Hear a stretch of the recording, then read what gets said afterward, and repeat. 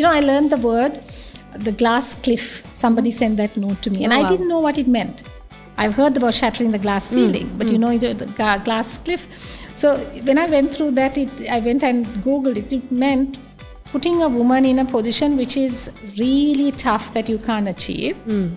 So if you don't, I mean, because it's kind of a really tough position, and if you don't achieve or succeed, you down. say it's because of a woman, because it was a woman who took that role. Sure.